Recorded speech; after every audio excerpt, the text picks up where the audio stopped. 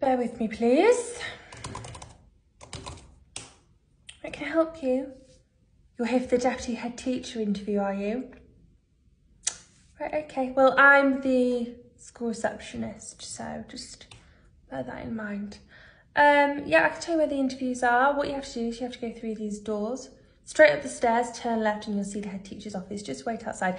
I actually have to grant you access to the main building. You can't just walk through. I have to uh, grant do that because I am the school receptionist.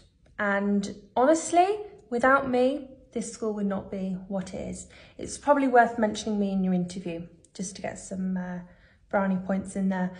Also, I have a big say as to whether, you know, you get this job or not. So, well, I should get a say anyway, because without me, this school would be uh, on the ground. So, good luck. See you later.